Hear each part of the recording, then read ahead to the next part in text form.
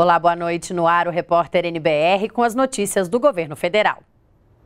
A gente começa esta edição com a participação do repórter José Luiz Filho, que tem informações sobre o presidente Michel Temer, que está internado no Hospital Sírio-Libanês, em São Paulo.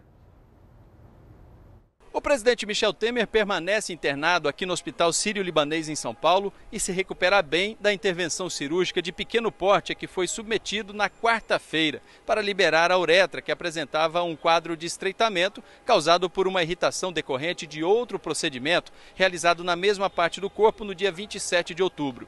Segundo informações dos médicos da equipe coordenada pelo cardiologista Roberto Calil Filho e o urologista Miguel Sruge, desta vez o procedimento não envolveu a próstata, apenas a uretra. E o presidente apresenta uma boa evolução e tem alta prevista para amanhã.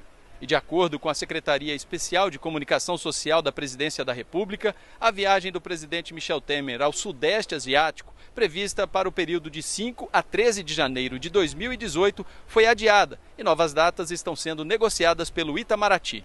De São Paulo, José Luiz Filho. O ministro da Fazenda, Henrique Meirelles, disse hoje que a votação da reforma da Previdência será adiada. Foi definido uh, que vamos, de fato, uh, passar a votação da Previdência para fevereiro, em função exatamente da questão de mobilização e de definição de votos e o fato de que já estamos aí no, chegando ao final do ano, a semana que vem é a, é a última semana de atividade parlamentar, etc.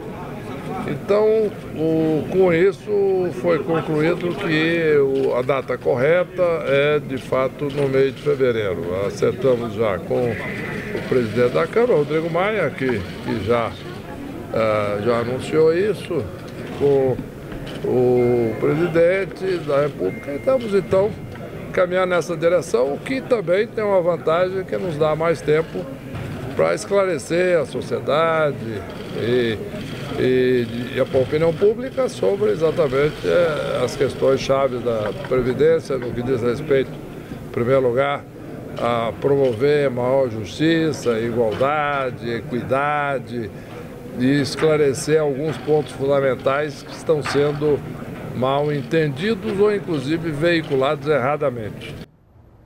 O relator da reforma da Previdência na Câmara dos Deputados, Arthur Maia, disse hoje que a proposta apresentada pelo governo federal é uma das mais importantes para a manutenção do crescimento do país e dos números da economia brasileira. Nós temos, ao longo de um ano e meio do governo atual, um avanço extraordinário na economia. E aí podem gostar do presidente Michel Temer, podem não gostar, isso é um, um fato. Por outro lado, é inegável os avanços da economia desse país. Óbvio que a não aprovação, ou pior, a derrota da reforma da Previdência, que é a reforma mais importante de todas aquelas que foram promovidas e que causaram essa melhora na economia. Se a reforma não for aprovada, nós teremos um grande prejuízo na nossa economia. Portanto, não podemos arriscar. Nós temos que ir para essa votação com 320, 330 deputados comprometidos em votar a reforma. E acho que temos todas as condições de conquistar esses votos. Um documento com dados sobre o mercado farmacêutico foi publicado hoje pela Anvisa, Agência Nacional de Vigilância Sanitária. São informações, por exemplo, sobre o volume de vendas da indústria de medicamentos, o tipo de produto mais vendido, faturamento e ranking das empresas do setor que atuam no Brasil. A ideia é dar mais transparência à população do país, que consumiu em 2016 4 bilhões e meio de embalagens de remédios. Os genéricos foram os produtos mais vendidos pela indústria farmacêutica brasileira em 2016. Segundo o documento divulgado pela Agência Nacional de Vigilância Sanitária, eles representam mais de 32% de tudo que foi vendido pelo setor no ano passado. Entre as 20 empresas com maior faturamento com a venda de genéricos, 16 são nacionais, sendo três do governo, a Fundação Oswaldo Cruz, o Instituto Vital Brasil e a Fundação para o Remédio Popular.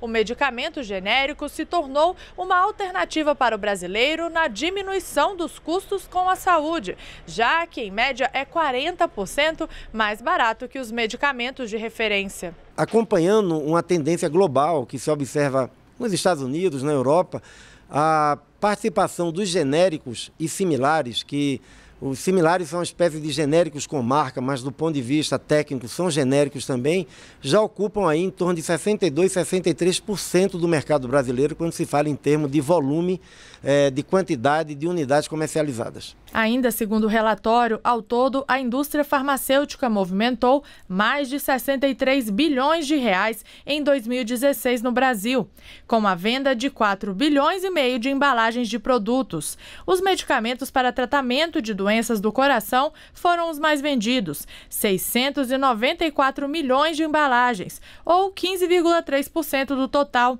O faturamento desse tipo de remédio bateu os 5,7 bilhões de reais.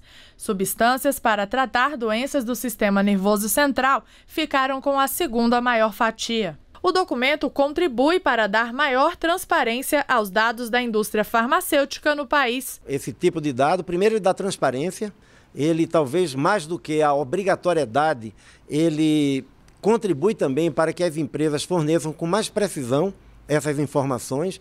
Ele permite com que estudiosos, economistas, órgãos do governo de planejamento, eh, órgãos privados consigam analisar bem as tendências do mercado e ter políticas relativas a, a, a esse mercado para torná-lo ainda mais eh, pujante, mais desenvolvido, fornecendo mais medicamentos para a população brasileira. Outro dado divulgado pela Anvisa revela que 65,5% das embalagens de medicamentos comercializadas no ano passado foram livres de impostos federais. A publicação pode ser consultada na íntegra no site da Agência Nacional de Vigilância Sanitária. Nós ficamos por aqui. Você pode rever as reportagens no YouTube. E toda a nossa programação também está na página da NBR na internet. Continue com a gente na NBR, a TV do Governo Federal. Thank you.